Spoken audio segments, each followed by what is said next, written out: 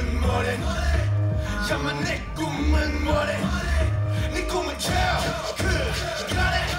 I wanna big house big house and big dreams Cause 사실 I don't have any big dreams 나참 편하게 살아. 꿈 따위 안고도 아무거나 하잖아. 전부 다 답답 똑같같이 나처럼 생각하고 있어. 생각은 까먹게 까먹 꿈만 서너이 신자 왜 하고 걱정 마 머리에도 깔끔히 가 알았어 엄마. 지금 독서실 간다니까. 네가 꿈꿔온 네 모습이 뭐야? 지금 네 거울 속에 누가 보여? I gotta say 너의 길을 가라고 단 하루를 살아도 뭐라도 하라고 나약함은 담아둬 왜 말 못하고 있어? 공부는 하기 싫다면서 학교 때려치기는 겁나지. 이거 봐. 등교할 준비하네 벌써 철 좀 들어 제발 좀 너 입만 살아가지고 유리 멘탈 boy stop 자신에게 물어봐. 언제 네가 열심히 노력했냐고. 내 꿈은 뭐래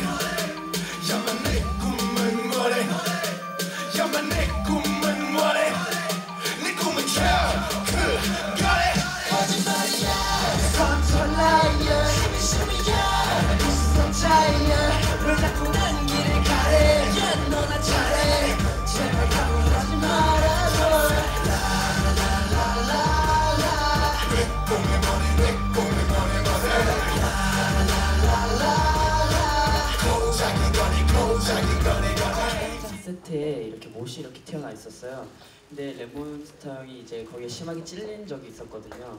근데 너무 깊게 찔려가지고 모든 촬영을 중단하고 응급실로 간 적이 있었습니다. 네, 아, 저희가 또 힙합 팀이다 보니까 이제 강목을 사용해서 무언가를 다 부시는 씬이 있었는데요. 강목에 이제 못이 튀어나왔는지 모르고 제가 굉장히 세게 잡았다가 아이고, 아이고. 이제 못에 깊게 긁혔었거든요. 그래서 아, 잠깐 촬영을 중단하고 응급실 가서 파상풍 주사 급하게 맞고 계속 촬영을 진행을 했었습니다. 어떻게 지금 지금은 괜찮아지신 거예요? 아, 네, 지금은 좀 전이라 그런지 완벽하게 괜찮아졌습니다. 네, 다행이네요. 네 그리고 멤버 모두가 지금 식단을 하고 있는데요. 저희들이 그 뮤비 촬영 날만큼 식단을 중단하고 밥차가 와서 밥을 해줘서 밥을 먹었었습니다. 그래서 같이 이, 어, 촬영을 한 스태프분들이 말씀하시기를 밥차를 집어 삼키는 듯한 느낌이었다라고 하실 만큼 정말 맛있게 밥을 먹었던 기억이 납니다. 그쵸 이 나이 때는 돌돌 씹어 먹을 나이니까요. 네.